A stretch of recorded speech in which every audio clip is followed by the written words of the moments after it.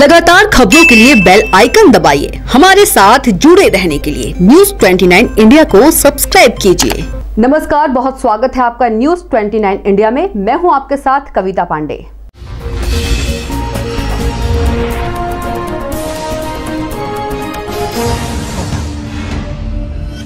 सागर के मोतीनगर थाना प्रभारी के द्वारा संत रविदास वार्ड में जन चौपाल लगाकर वार्ड वासियों से बातचीत की गई।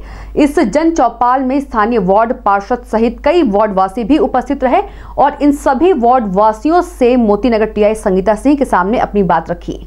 वार्ड वासियों ने बताया कि हरिजन बाहुल वार्ड होने के कारण इस वार्ड में शराबबंदी, चोरी और वैश्यावृत्ति के अनैतिक कार्य होने के कारण हम लोगों को अच्छी खासी परेशानी का सामना करना पड़ता है। इन वार्ड वासियों की प्रमुख मांग इस जन चौपाल में रखी गई है कि इस वार्ड में एक पुलिस चौकी का निर्माण किया जाए, जिससे इस वार्ड में अनैतिक कार्य में लगाम लगाई जा सके। इन वार्ड वासियों की मांग को थाना प्रभारी संगीता सिंह ने मान ली है। Bureau report, news twenty India.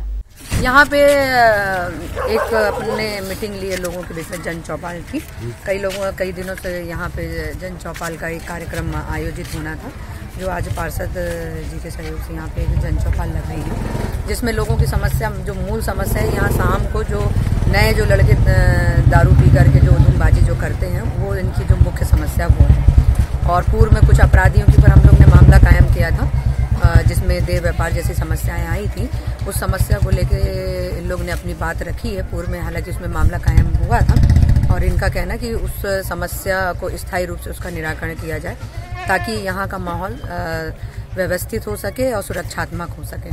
तो इनकी समस्याओं को सुना गया। सुनने के बाद में ये निर्णय लिया गया जन सहयोग से कि यहाँ पर फ़िलहाल एक चौकी रूपी एक टपरा रखवाया जाए ताकि पुलिस सहायता केंद्र बनाया जाए, ताकि पुलिस यहाँ पे उपस्थित रहे और जो भी बुराइयाँ यहाँ पे सामाजिक बुराइयाँ हैं, उन पे अंकुश लग सके। तो आप देखते रहिए न्यूज़ 29 इंडिया, एक देश, सारे प्रदेश।